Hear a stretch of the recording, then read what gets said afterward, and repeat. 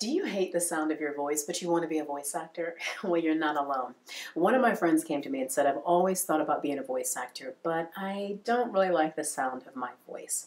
Have you ever had the thought, well, I'm not sure if I'd be able to book a commercial or a narration or even an audiobook? Well, if that sounds like something you've been wrestling with, let's talk about it. I'm going to give you three things that you can do to go from I'm not really loving my voice to I'm loving it a little bit more.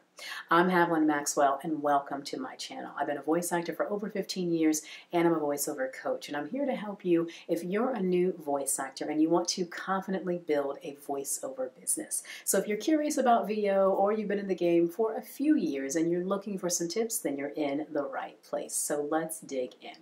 One of the three things that you can do to go from hating your voice to loving it a little bit more is number one Start putting more focus on how you'd like to use your voice, not how it sounds to you right now. Because studies show that how you hear your voice differs from how others can listen to it and hear it because of the way that it passes through our bodies. Do not spend time dogging out your voice. Your voice is your voice. So it's like when you hear yourself in a recording and you think, do I sound like that? You do sound like that, but other people don't hear your voice the way that you do. So spend less time focused on what you hear and more time thinking about how you're going to use what you already have.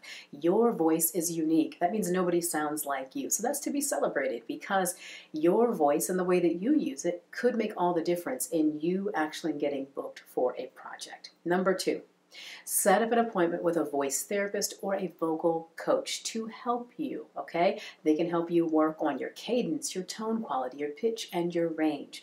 The same can be true if you have an accent of some kind and you prefer not to have it or you want it to be less noticeable. Then try working with an accent reduction coach. Now, on the flip side, if you want to show off your accent, which you probably should, then make a highlight reel or put that on your demo or put it in some kind of work that your client can hear your range. Now, the third thing that you can do to get used to the sound of your own voice is by recording it and replaying it back often.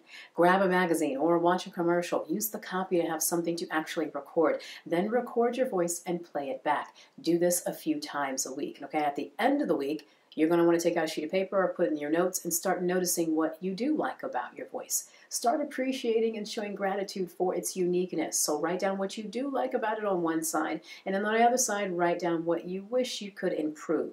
And then research ways to improve that. And then you can even take those notes to your vocal coach to work on that together.